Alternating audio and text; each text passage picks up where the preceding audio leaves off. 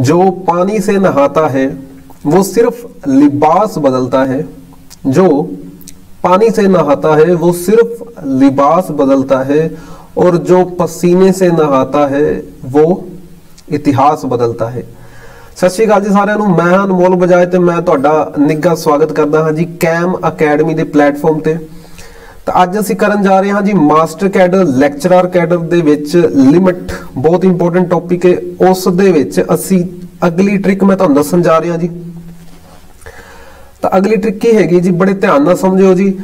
ਦੇਖੋ, ਇਸ ਤਰ੍ਹਾਂ ਦੀ ਇੱਕ ਟ੍ਰਿਕ ਮੈਂ ਅੱਗੇ ਵੀ ਦੱਸ ਚੁੱਕਿਆ, ਪਰ ਉਦੋਂ, ਠੀਕ ਹੈ, ਉਦੋਂ ਸਕੇਅਰ ਰੂਟ ਦਿੱਤਾ ਹੋਇਆ ਸੀ ਸਕੇਅਰ ਰੂਟ ਠੀਕ ਹੈ, ਇਹ ਤੁਹਾਨੂੰ ਮੈਂ ਕਿਸੇ ਪ੍ਰੀਵੀਅਸ ਲੈਕਚਰ ਦੇ ਵਿੱਚ ਦੱਸ ਚੁੱਕਿਆ ਜੀ।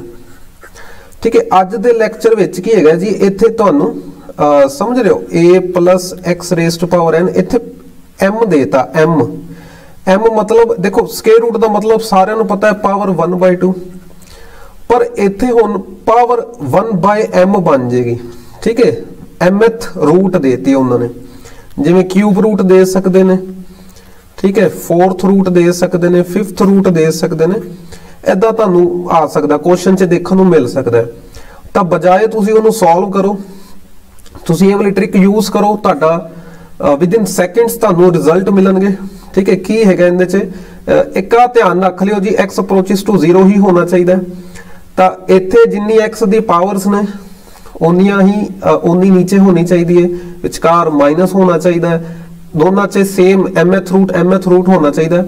ਤਾਂ ਆਨਸਰ ਕੀ ਆਏਗਾ ਜੀ? ਉੱਪਰ 2 ਲਗਾ ਦਿਆ ਜੀ।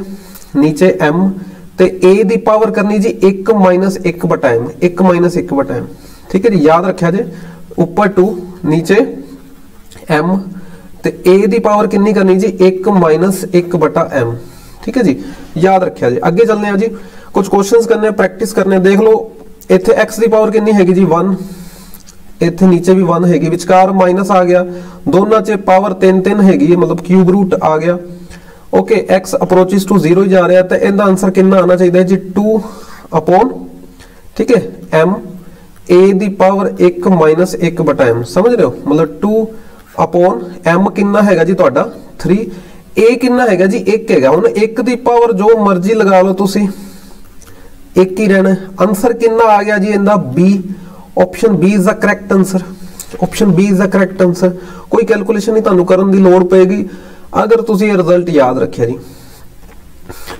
ਹਾਂਜੀ, ਅਗਲੇ ਚ ਦੇਖੋ, ਹੁਣ ਇੱਥੇ ਠੀਕ ਹੈ 4th ਰੂਟ ਆਫ ਯੂਨਿਟੀ ਦੇਤਾ। ਅਗਰ ਤੁਸੀਂ ਇਹਨੂੰ ਠੀਕ ਹੈ, ਤੁਸੀਂ ਸਮਝ ਰਹੇ ਹੋ ਨਾ, ਅਗਰ ਤੁਸੀਂ ਇਹਨੂੰ ਸੋਲਵ ਕਰਨ ਦੀ ਕੋਸ਼ਿਸ਼ ਕੀਤੀ, ਬਹੁਤ ਟਾਈਮ ਲੱਗ ਜਾਏਗਾ। ਪਰ ਅਗਰ ਤੁਸੀਂ ਟ੍ਰਿਕ ਨਾਲ ਕਰਦੇ ਹੋ, ਤਾਂ ਦੇਖੋ ਜੀ, ਫਟਾਫਟ 2 4 81 ਰੇਜ਼ ਟੂ ਪਾਵਰ 1 1 ਬਾਈ 4 ਠੀਕ ਹੈ, ਕਿੰਨਾ ਆ ਜਾਏਗਾ ਜੀ ਇਹ?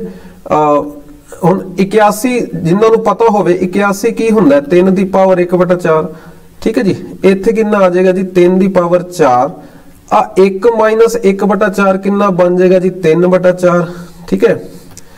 ਤਾਂ ਇਹ ਆਨਸਰ ਆ ਰਿਹਾ ਜੀ ਤੁਹਾਡੇ ਕੋਲ। ਸੋਲਵ ਕਰਕੇ 3 ਦੀ ਪਾਵਰ 3 ਕਿੰਨਾ ਹੋ ਜਾਏਗਾ ਜੀ 27 ਤੇ ਇਹ ਆ ਗਿਆ ਜੀ ਤੁਹਾਡੇ ਕੋਲ 1/54 ਠੀਕ ਹੈ ਜੀ।